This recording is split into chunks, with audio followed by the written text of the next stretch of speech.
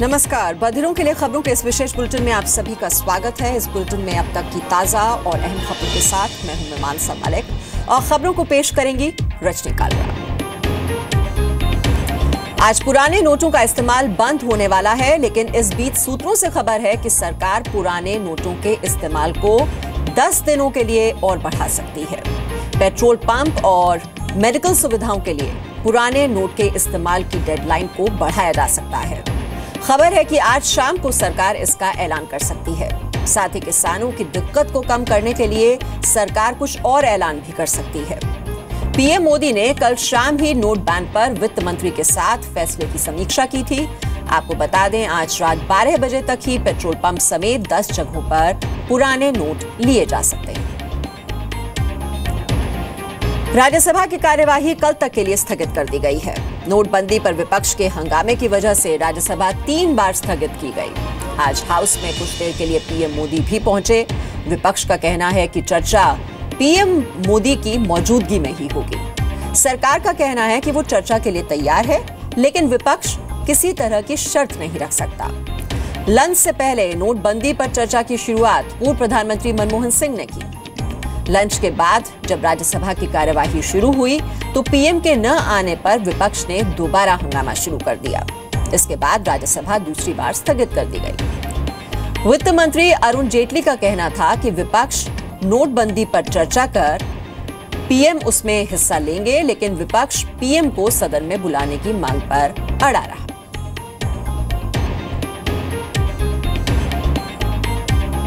लेकर Commonwealth game कोल scam जो लाखों करोड़ों रुपए के स्कैम्स हुए, जिस पे न्यायपालिका के भी निर्णय आए, सीएजी के भी रिपोर्ट्स आई, और पूरे देश ने वो स्कैंडल्स वाली सरकार देखी जिसके दौरान ये ब्लैक मनी जनरेट और क्राइम मनी जनरेट हो रही थी।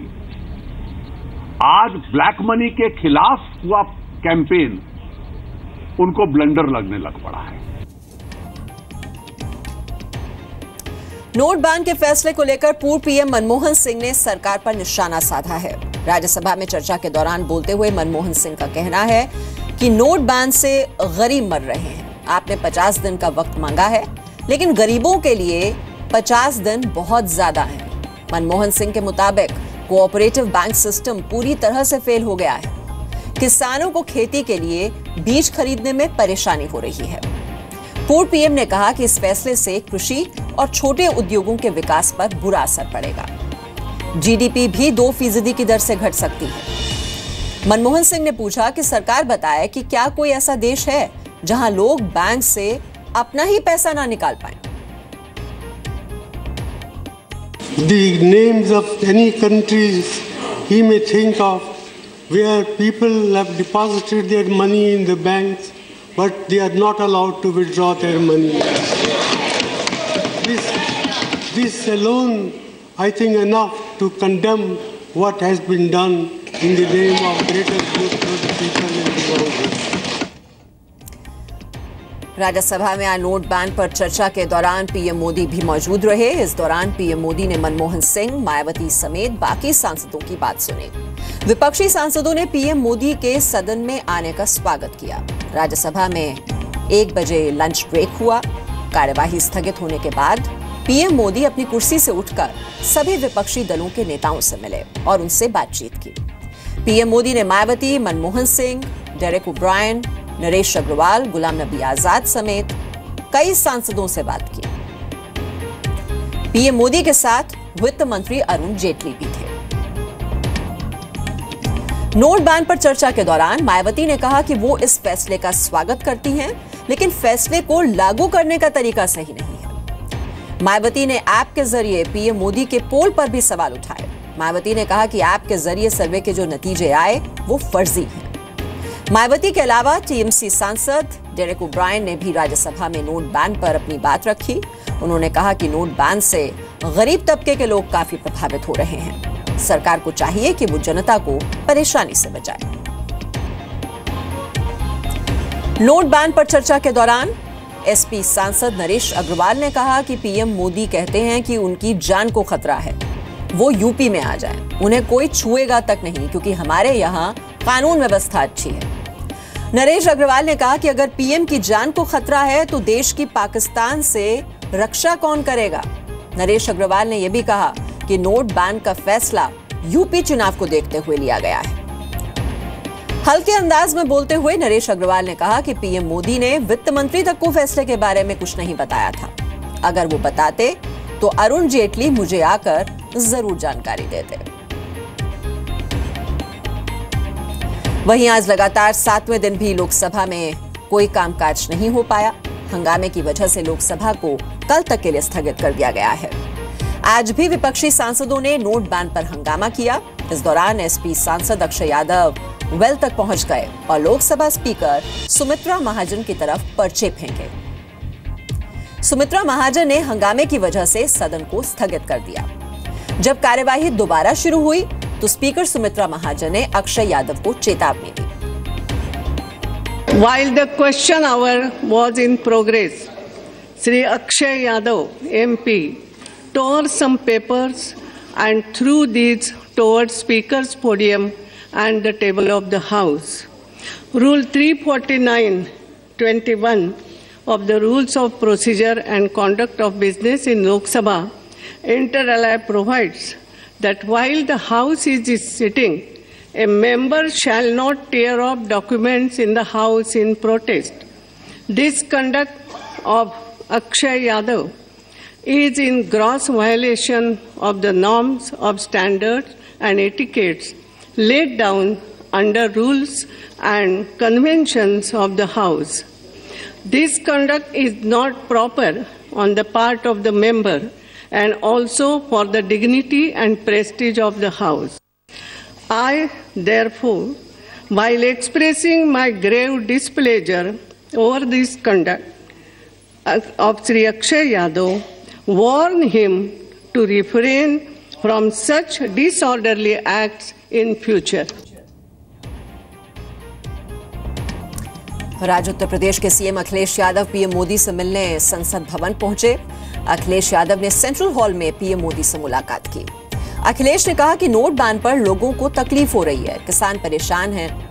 अखिलेश ने यह भी कहा कि अगर मैं भी इस फैसले को लेकर अपने फेसबुक प्रोफ़ाइल पर सर्वे शुरू करूँ तो लोग मेरे पक्ष में बोलेंगे। अखिलेश यादव ने मायावती पर भी निशाना साधा।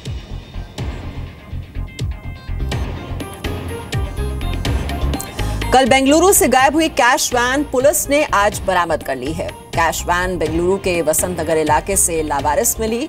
पुलिस को वैन से 45 लाख रुपए और बंदूक भी बरामद हुई है।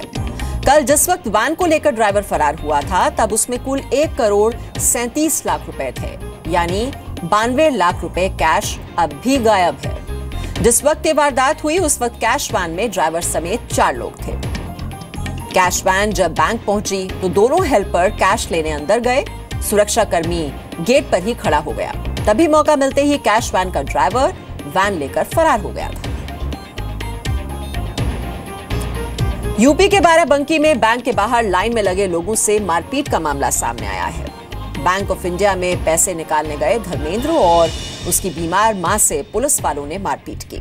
धर्मेंद्र का आरोप है कि लाइन को मैनेज करने के लिए ड्यूटी पर तैनात पुलिस वाले लोगों से वसूली कर रहे थे। जब उन्होंने वसूली का विरोध किया तो उनके साथ मारपीट हुई। धर्मेंद्र को बचाने के लिए जब लाइन में लगी उनकी माँ आई तो पुलिस वालों ने उसके साथ भी मारपीट की। ये पूरी वारदात बैंक के सीसीटीवी कैमरे में रिकॉर्ड हो गई। घटना की खबर मिलने के बाद सिपाही अजय सिंह को सस्पेंड कर दिया गया। सब इंस्पेक्टर अरविंद शर्मा को लाइन हाजिर कर दिया गया। अब रुक करेंगे गुजरात का, जहाँ जामनगर में रिलायंस रिफाइनरी में आग से एक व्यक्ति की मौत हो गई है, जबकि 11 मजदूर घायल हो गए। ये आग इतनी भयानक थी कि बुझाने में घंटों लग गए। फायर ब्रिगेड की कई गाड़ियाँ काफ़ी देर तक आग बुझाने में जुटी रही। सभी घायलों को अस्पताल में भर्ती कराया गया है। इससे पहले साल 2009 के अप्रैल और जनवरी महीने में भी रिलायंस की इस रिफाइनरी में आग लगी थी। मार्शल सेक्टर में शहीद हुए राष्ट्रीय राइफल्स के जवान प्रभु सिंह के पार्थिव शरीर को आज जोधपुर लाया गया है। वायुसेना के सर्विस विमान से शहीद प्रभु सिंह के पार्थिव शरीर को लाया गया। यहाँ से प्रभु सिंह के पार्थिव शरीर को उनके पैतृक गाँव खिरजा खास ले जाया जाएगा। प्रभु सिंह के गाँव में इस वक्त लोगों की भारी भीड़ है।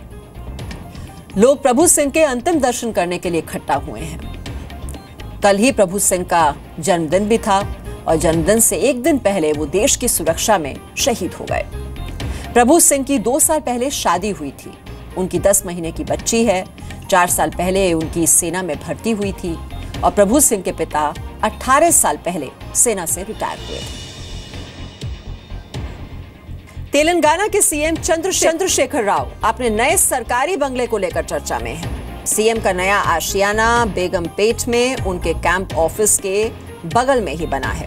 आज सुबह सीएम और उनके परिवार की मौजूदगी में गृह प्रवेश किया गया। इस दौरान धार्मिक मंत्रोच्चारण और रीति रिवाज के साथ गृह प्रवेश हुआ। सीएम का नया बंगला एक लाख वर्ग फीट में फैला हुआ है और इसको बनाने में करीब 35 करोड़ का खर्च आया है। आपको बता दें, गृह प्रवेश से पहले सीएम राव के आलिशान घर में सबसे पहले गाय का प्रवेश कराया गया। उधर मध्य प्रदेश के बैतूल में एक युवक ने लगातार 134 मिनट तक शीर्षासन कर नया रिकॉर्ड बनाया है। इस रिकॉर्ड को बनाने वाले युवक का नाम चंचल है और वो हरिद्वार के देव संस्कृति विश्वविद्यालय में एमएससी योग का छात्र है। विश्वविद्यालय प्रशासन का दावा है कि दुनिया में सबसे अधिक समय तक के शीर्षासन का ये इकलौता और अनोखा रिकॉर्ड है। यही नहीं, इस रिकॉर्ड को Guinness book of world records में दर्ज कराने की प्रक्रिया भी शुरू कर दी गई है।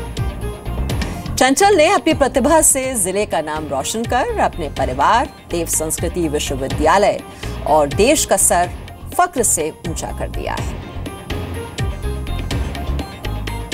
और अब अंतर्राष्ट्रीय खबर, टर्की के अदाना शहर में एक जोरदार धमाका हुआ। धमाके में दो लोगों की मौत हो गई, जबकि सोलह लोग घायल हो गए। ये धमाका गवर्नर ऑफ़िस की पार्किंग में खड़ी कार में हुआ। अधिकारियों के मुताबिक पार्किंग में खड़ी कार में पहले आग लगी, फिर अचानक से ब्लास्ट हुआ।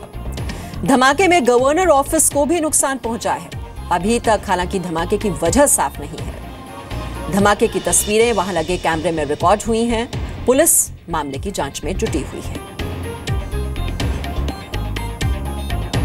बधिरों के लिए समाचार के इस बुलेटिन में आज के लिए बस इतना ही। कल दोपहर साढ़े तीन बजे हम फिर हाजिर होंगे। दिन भर की बड़ी और नई खबरों के साथ।